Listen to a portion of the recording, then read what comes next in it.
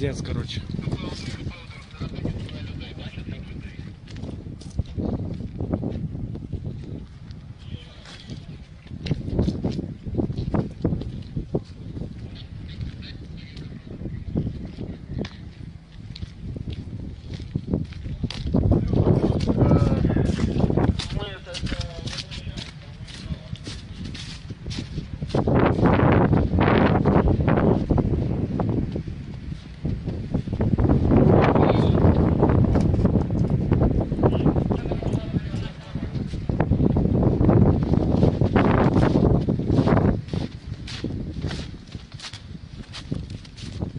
Вот эпицентр взрыва.